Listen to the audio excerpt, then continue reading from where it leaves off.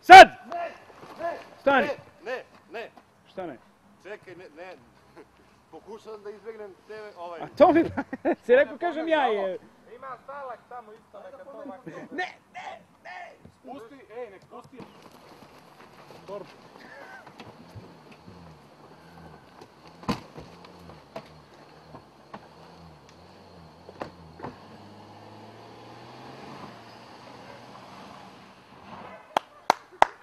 Jadan ovaj u gepeku. Maki gleda. Ok.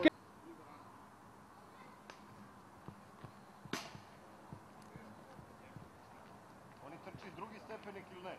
Da, da, drugi i onda skreću tu desno na livadu. Ok, Agbaba, sačekaš da opalim par puta. Stani. Čekaj. Agbaba, staću na tri koraka odavde, onda otprilike pucaj. Ajde.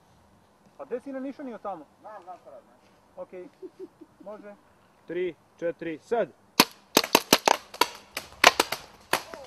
Ja se to u glavu. Vidi, ao. Ok, i ovdje probaj da me pogodiš ovdje. Ne, ovdje me nišaniš. Ne u redu, Evo, ajde ti. Ajde ti krupan plan, u stvari, ajde. Jel može? Ajde. Tri, četiri, sad.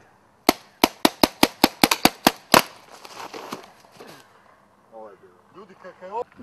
A si pao pičku. Aj pa. Ono to je bilo kao, nisam valjda. Jesam, da. Drino, Venti. Kako pucaš? Pa, pa, pa, pa. I protrči pored, pored njega, ja ću da legnem pored njega. Evo. Osvi. Diži.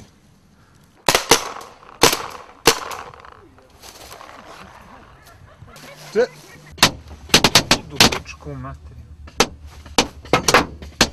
Dosta je, jebem vas u usta, ali broje do 3-4 jesam ti rekao. nevjerojatni su što. Sad će još dopaditi. Lezi dole, lezi dole. Jebem se. Daj grad. Jao, jao, jao, jao.